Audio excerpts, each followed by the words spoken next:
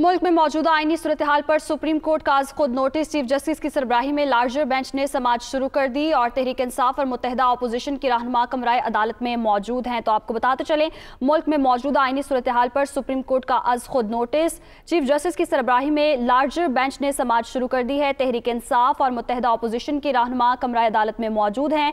Chief justice Pakistan की सरबराही में पाँच रुकनी लार्जर बेंच है जो मुल्क की मौजूदा आईनी सूरत हाल पर आज खुद केस की समात कर रहा है। है और सदर वज़ीर अजम स्पीकर और डिप्टी स्पीकर को भी मुकदमे में फरीक बनाया गया है। गुजशत रोज़ अदालत ने किसी भी मावराए आइन इकदाम से रोकते हुए सदर वज़ीर अजम तमाम सियासी जमातों, स्पीकर, डिप्टी स्पीकर, कौमी असम्बली, अटर्नी जनरल, सेक्रेटरी दाखिला, दिफा, पंजाब के आईनी बहरान पर एडवोकेट जनरल और सुप्रीम कोर्ट बार को नोटिस जारी किए थे और आज इस हवाले से समाज शुरू हो गई है। चीफ जस्टिस पाकिस्तान की सरबराही में पाँच रुकनी लार्जर बेंच मुल्क में मौजूदा आईनी सूरत हाल पर अज खुद नोटिस केस की समात कर रहा है और गुजशत रोज़ अदालत ने किसी भी मावराए आइन इकदाम से रोकते हुए सदर वज़ीर अजम तमाम सियासी जमातों को नोटिस जारी किए थे। चीफ जस्टिस ने रिमार्क्स दिए कि रमज़ान है सबने रोज़ा रखा है, तमाम इदारे आइनी हदूद के मुताबिक किरदार अदा करें, तमाम सियासी क़वतें और रियाती हुकाम सूरत हाल का फ़ायदा ना उठाएँ, मामले पर दायर दरखास्तों को रजिस्टर्ड किया जाता है अमनो अमान की सूरत हाल ख़राब नहीं होनी चाहिए,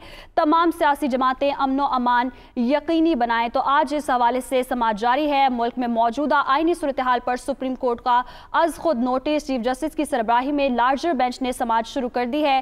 तहरीक इंसाफ और मुतहदा अपोजिशन की रहनुमा कमराए अदालत में मौजूद हैं। कल तहरीक अदम अतमाद पर डिप्टी स्पीकर ने रूलिंग दी थी और तहरीक अदम अतमाद की करारदाद को मुस्तरद कर दिया गया था, जिस पर अपोजिशन ने एतराज़ात उठाए और अपोजिशन ने कहा कि यह मामला सुप्रीम कोर्ट जाएगा और अब जो है सुप्रीम कोर्ट इस पर समाप्त कर रहा है। मुल्क में मौजूदा आइनी सूरत हाल पर सुप्रीम कोर्ट का अज खुद नोटिस। चीफ जस्टिस की सरबराही में लार्जर बेंच ने समात शुरू कर दी है। तहरीक इंसाफ और मुतहदा अपोजिशन के रहनुमा कमराए अदालत में मौजूद हैं और चीफ जस्टिस ने रिमार्क्स दिए कि रमज़ान है सबने रोज़ा रखा है। तमाम इदारे आइनी हदूद के मुताबिक किरदार अदा करें। तमाम सियासी क़वतें और रियाती हुकाम सूरत हाल का फ़ायदा ना उठाएँ। मामले पर दायर दरखास्तों को रजिस्टर्ड किया जाता है। अमन अमान की सूरत हाल ख़राब नहीं होनी चाहिए।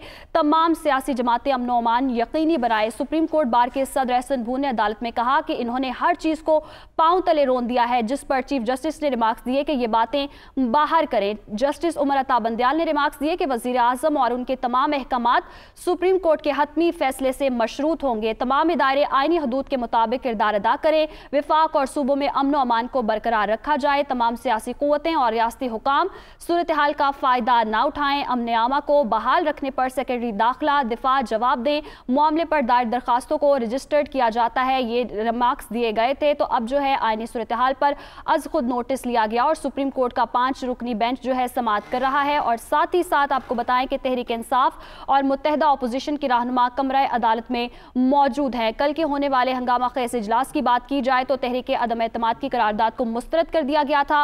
हुकूमत ने अपोजिशन को बहुत बड़ा सरप्राइज़ दिया था। वज़ीर अजम के एडवाइस पर सदर ममलिकत ने कौमी असम्बली तहलील कर दी थी। मौजूदा सूरत हाल पर सुप्रीम कोर्ट ने नोटिस लिया और चीफ जस्टिस उमर अता बंदयाल ने केस की समात आज के लिए मुलतवी कर दी थी और आज जो है समात शुरू हो गई है। चीफ जस्टिस सरबराही में बेंच जो है वो समात कर रहा है और इस मौके पर सुप्रीम कोर्ट ने भी मावराए आइन इकदाम से रोकते हुए अटर्नी जनरल समेत तमाम फिरकैन को नोटिस जारी कर दिए थे। सेक्रेटरी दिफा और सेक्रेटरी दाखिला को भी आज तलब किया गया है और चीफ जस्टिस ने रिमार्क्स दिए कि रमज़ान है, सबने रोज़ा रखा है। तमाम इदारे आइनी हदूद के मुताबिक किरदार अदा करें। और कहा कि तमाम सियासी कुतें और रियाती हुकाम सूरत हाल का फ़ायदा ना उठाएँ।